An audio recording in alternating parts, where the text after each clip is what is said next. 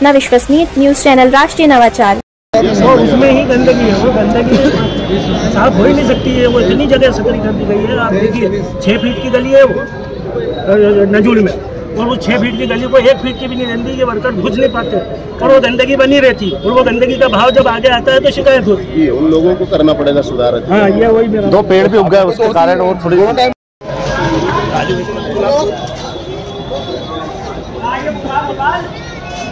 निवेदन आया भी नहीं इसीलिए उनको निर्देश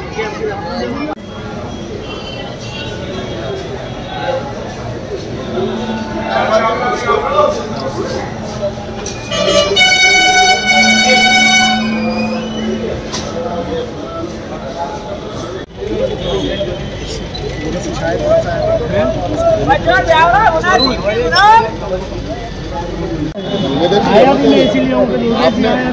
आपने बोला मतलब 110 परसेंट सही बोल रहे हो। सौ भी नहीं एक सौ आपने दस मुझे कहीं नहीं देखा होगा सिर्फ़ आज ही देखा। है मुझे मालूम है तो आप निश्चित पूरे पेमेंट रहते हैं ठीक है।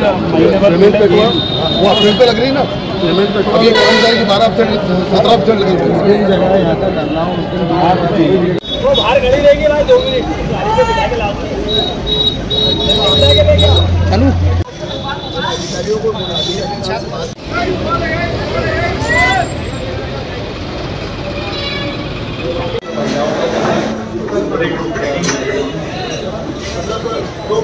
बस स्टैंड आकर निरीक्षण किया है क्या कुछ?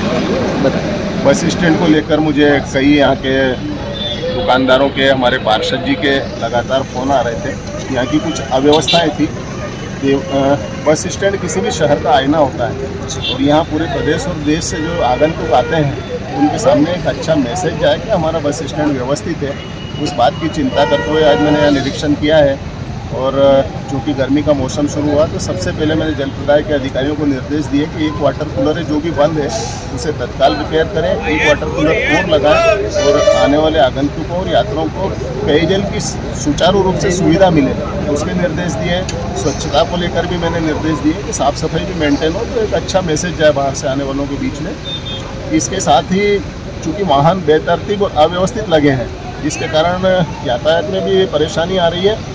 उसको लेकर मैंने हमारे ट्रैफ़िक टी आई पवन बागरी जी से बात करी है और उनको भी मैंने कहा है कि अपने दो जवानों की, चार जवानों की परमानेंट ड्यूटी लगाए और यहाँ पर वाहन व्यवस्थित पार्क कराए, जिससे कि लोगों को सुविधाजनक आवागमन मिल सके यहाँ पर। और हमारे पार्षद जी लगातार इसकी चिंता करते रहे हैं। और आज भी मेरे साथ थे और अब मैंने पार्षद जी को ही निवेदन करा है कि आप लगातार इसकी मॉनिटरिंग करें और कहीं भी अधिकारियों की तरफ़ से शिकायत आती है तो मुझे बताएँ और हमारा बस स्टैंड व्यवस्थित रहे। ठीक है